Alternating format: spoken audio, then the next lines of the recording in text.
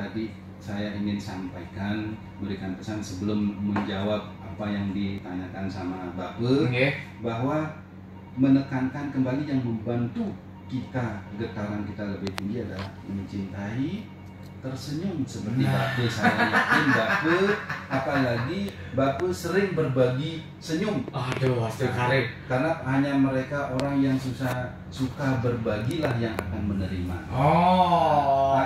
Kenyam, senyum, hmm. bahagia itu jelas sudah nyata akan memberikan dampak energi positif getaran yang lebih tinggi Nggih. yang tentunya melindungi kita. Ah. Kemudian rasa eh, mencintai, kemudian menari, Hmm. yoga, meditasi, menikmati alam. Ini yang tentunya meningkatkan dan yang jelas ya, Hmm. jelas cinta kasih yang tulus kepada makhluk hidup ciptaan Tuhan ini akan meningkat. Nah, itu yang menyebarkan Saya belajar dari eh, apa namanya filosofi atau pendapat atau pengalaman gambaran dari seorang perawat Hmm.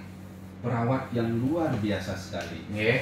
ya eh, Bunda Teresa Oh, Bunda Teresa nggih tiang kagane. Ah. Bunda Teresa ini ini luar biasa sekali Eh, beliau adalah perawat yang merawat pasien-pasien lepra Lepra. lepra ini siapa pun juga tahu bahwa lepra ini sangat sangat sangat menular Nggih. Yang di Bali orang lepra itu sakit gede. Sakit gede. Sakit gede orang itu lepra. lepra ini menularnya luar biasa Nggih.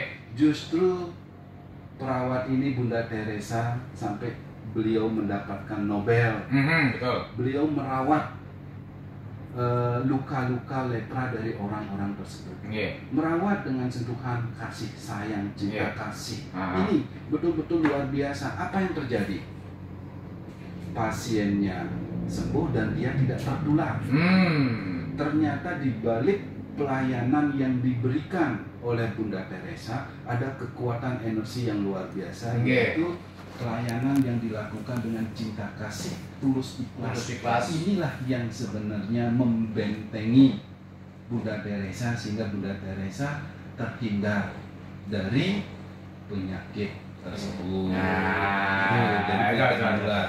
Nah, terus Hmm. kemudian eh, masalah doa yang tadi saya Nggih. sampaikan. Doa yang terus betul-betul meningkatkan imun kita. Mhm. Jadi meningkatkan es atau getaran. Nggih.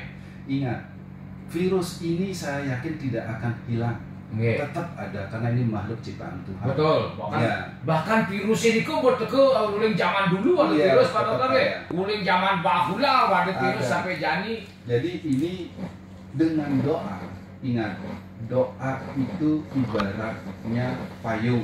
Doa Hmm. tidak akan bisa menghentikan hujan. iya betul Tapi doa bisa menghindari kita dari basah akibat hujan tersebut. luar biasa Inilah juga yang memang harus kita tekankan ke nyamu-nyamu untuk Hmm. selalu berdoa dalam kondisi seperti ini. Ya. Virus tetap ada, minimal kita tercegah dari akibat virus tersebut yang menimbulkan penyakit tersebut. Ah, ingatkan dong, ah, irade saya saya berdoa sekali bawasnya Bapak Dokter Caput barisan ke ah, eh, doa ke ibarat payung.